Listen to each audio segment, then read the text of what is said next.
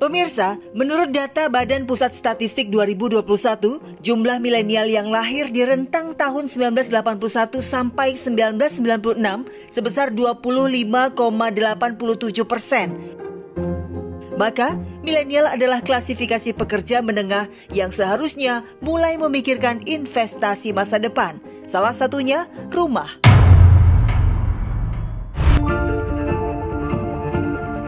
Semakin tingginya harga rumah di ibu kota membuat milenial semakin sulit memiliki rumah. Sedangkan rumah murah hanya berukuran kecil, rata-rata 20-an meter persegi. Belum lagi kondisi yang berada di tempat tak nyaman.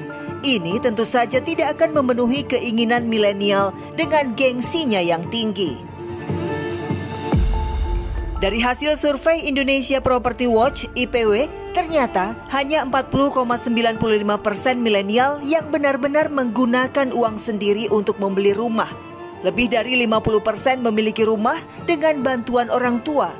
39,05 persen dibantu uang muka atau sebagian cicilannya, dibelikan properti sepenuhnya sebesar 12,38 persen, dan sisanya tidak membeli properti karena warisan orang tua. Begitulah faktanya, hanya mereka yang berpenghasilan rata-rata 8,5 juta rupiah per bulannya yang diperkirakan sanggup untuk membeli properti saat ini. Namun, apakah memang para milenial menganggap membeli rumah adalah suatu hal yang penting? Atau mereka punya pandangan sendiri soal hunian?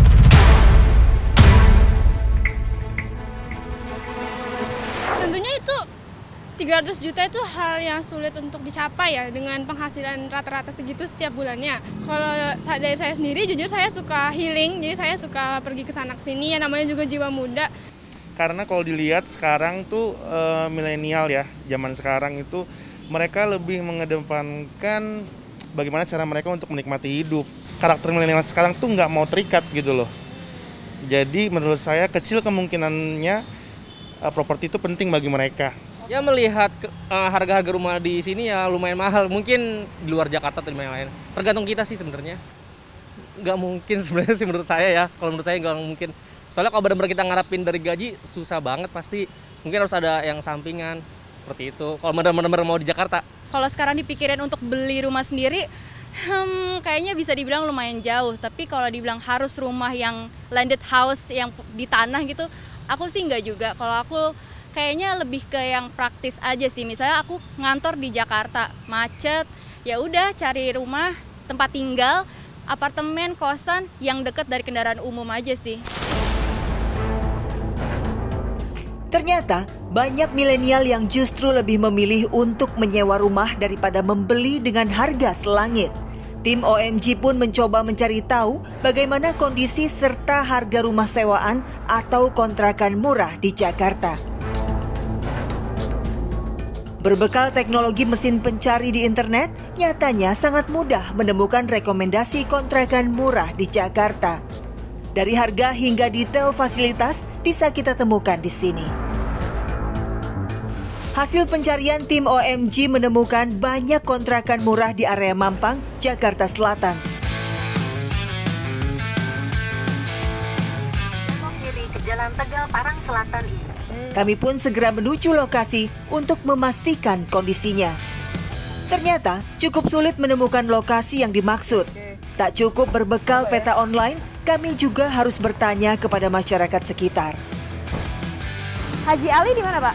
Ini Jalan Haji Ali. Mana, Pak? Ini sampai ke atas. Ini lu, ini gang ini, yang ini. Oh, sampai ke atas Haji oh, Ali. belok lagi. Oh, oh, sampai ke atas. Oh, gitu. Terus kanan kiri? Ya itu kanan kiri sama. Haji Ali semua. Nggak ada sih Pak Jali doang.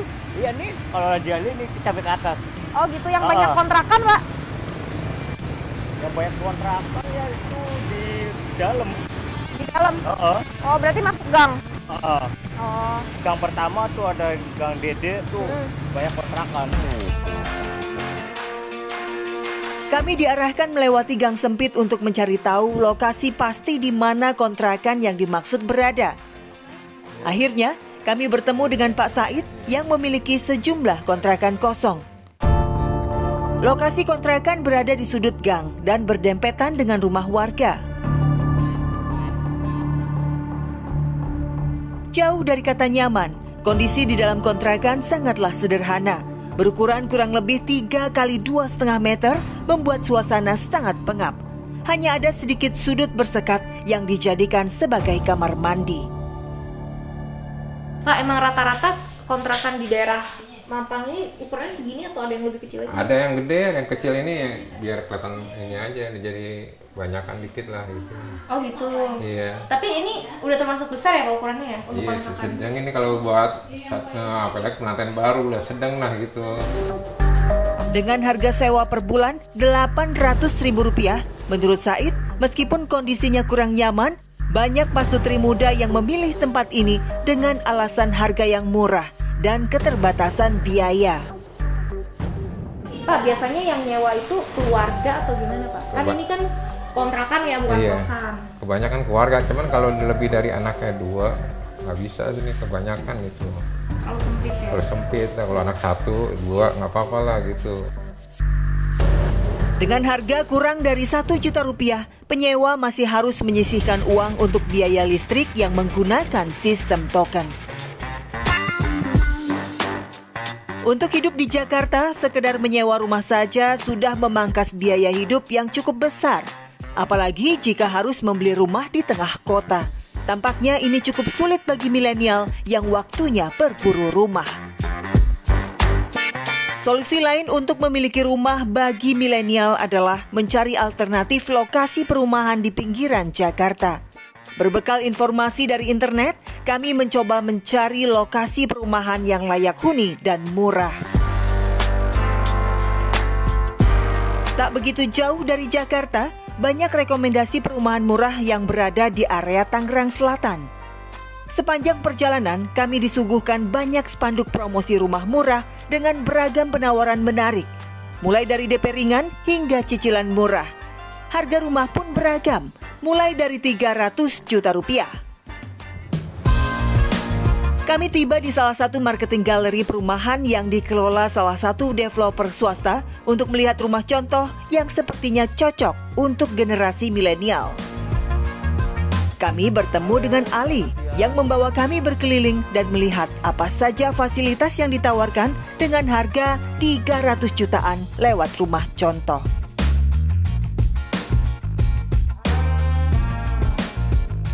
Sebenarnya, rumah ini cukup cocok untuk kaum milenial yang masih terbatas upah bulanannya di bawah 10 juta rupiah. Memiliki dua kamar tidur, satu kamar mandi dan dapur, rasanya cukup bagi milenial yang hendak memulai kehidupan berkeluarga. Memang, luasnya hanya sekitar 5 kali 12 meter persegi. memang banyak kendalanya sekarang saat ini milenial ini eh, kurang peka atau nggak melek akan kesadaran punya rumah sih relatif seperti itu eh, saat mereka sadar di usia yang sudah cukup relatif eh, berumur mereka baru sadar dan mereka menyesal belum punya rumah Bagi milenial yang memiliki gaji di bawah upah minimum regional, untuk mencicil rumah seperti ini, menurut Ali masih memungkinkan, asalkan tidak memiliki cicilan lainnya yang cukup memberatkan. Sementara dari sudut pandang sosiologi, sulitnya milenial membeli rumah saat ini bukan soal keterbatasan pendapatan, melainkan soal budaya konsumerisme yang terjadi di lingkaran pergaulan kaum milenial. mereka itu budayanya budaya apa budaya eh, traveling itu sangat tinggi. Um, mereka sekarang apa, apalagi eksis dia ingin eksis di media sosial gitu ya. Jadi membeli rumah itu bukan prioritas. Mereka lebih suka eh, menampilkan foto-foto, eh, membeli eh, hal-hal yang menghibur. Itu lebih nonton film, kemudian pergi bersama teman-temannya ke Bali dan lain-lain. Itu lebih dia sukai. Sehingga itu juga menjadi menguras energi mereka sendiri sehingga menabung itu juga menjadi anu menjadi apa eh, sering kali tabungan itu digunakan untuk kehidupan konsum ko- konsumerisme seperti itu. Selain itu, kewajiban memiliki slip gaji untuk bisa mencicil lewat bank juga menjadi halangan bagi kaum milenial yang kebanyakan bekerja tidak terikat pada sebuah perusahaan alias freelance atau malah membuka usaha kecil-kecilan. Kita tahu adik-adik kita milenial itu eh, tidak semua bekerja di bidang formal yang gajinya tetap, yang punya slip gaji itu sudah ada. Padahal itu kan biasa dibutuhkan secara administratif oleh penyedia-penyedia properti. Banyak adik-adik kita itu bekerja dari rumah, apalagi daerah industri uh, teknologi hari ini. Mereka besar pendapatan mereka, tetapi mereka tidak punya uh, slip gaji seperti itu. Memang, buruknya manajerial keuangan bisa menjadi salah satu faktor pendukung lain. Menurut financial planner, milenial harus mulai mengerti besaran alokasi dana yang harus disisihkan dari gaji bulanan atau pendapatan jika hendak memiliki rumah. Pada dasarnya untuk membeli rumah ya ada dua pendekatan sebenarnya. Berapa dari uh, jumlah yang dialokasikan. Nah, kalau jumlah yang dialokasikan ini pendekatan pertama adalah sejumlah persentase 30%. Ya, itu adalah sejumlah nilai yang rata-rata orang masih sanggup untuk komitmen nabung dalam jangka panjang, 30%. Cuma 30% ini kan berarti alokasi dari gaji kita. Kita tidak mengacu kepada harga rumahnya. Nah, sementara kalau kita mengacu pada harga rumahnya, bisa jadi uang yang kita harus alokasikan lebih besar daripada 30%. Memang ada harga, ada kualitas. Perlu budget lebih untuk bisa memiliki rumah nyaman dan layak huni di era saat ini.